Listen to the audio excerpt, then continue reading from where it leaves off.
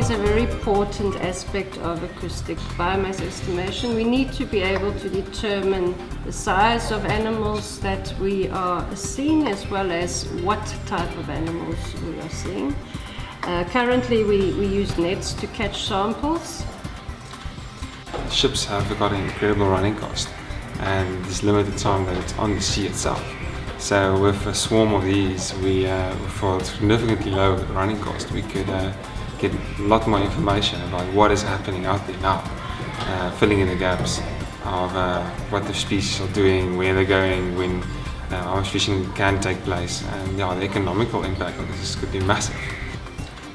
And basic drive for it is for us to, to, to help fisheries and to be able to go out and do their surveys better. We were approached by CSIR to, to see if we had any interest in developing this uh, product further by incorporating some some acoustic technology into it, and I thought I think we thought that was an ideal opportunity.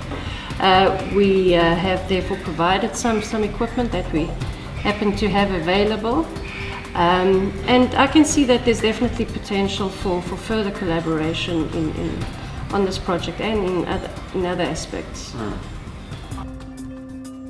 This project brought together different partners, um, one being CSIR, um, as well as partners from the industries like Sea Technologies, um, who did most of the development, and then um, Liquid Robotics, who's provided the platform and the equipment, and uh, Department of Agriculture, Forestry and Fisheries, who provided the um, sonars and yeah, the equipment itself and support and direction for this project.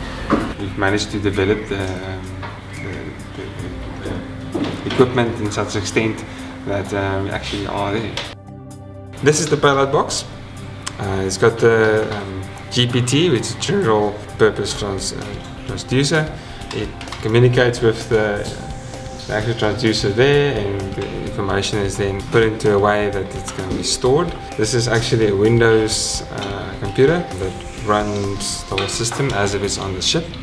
And we've got our power boards, the liquid robotics interface boards, and then the, some basic electronics like relays and um, power converters. It's been quite challenging to get all the equipment together, and the team has been absolutely amazing with the ability to, uh, in a very short period of time, address issues, resolve it, and in an effective way. I think the, the initial feedback uh, from the, the, the, couple of test runs we've done is, is very positive. Um, the acoustic signal seems to be working very well. It's got a very stable signal. Uh, a couple of issues we still need to look at is things of how we might adapt it further to allow for us to identify targets that we're actually seeing uh, with the acoustic system. There's several applications that I can see long term uh, if everything goes according to plan. Obviously, one of them is, is assisting us with, with understanding our fish resources better, uh, determining migration patterns outside of times when we are normally surveying.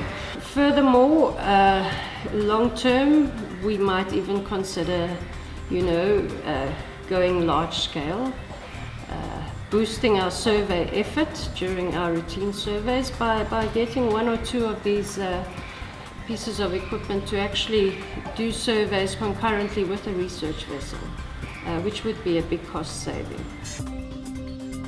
The whole Africa could benefit from uh, knowing exactly what the fish levels are and then um, being able to accurately um, determine the, the, impact fishing is having and to control it so that uh, future generations will also have fish to um, use as a resource.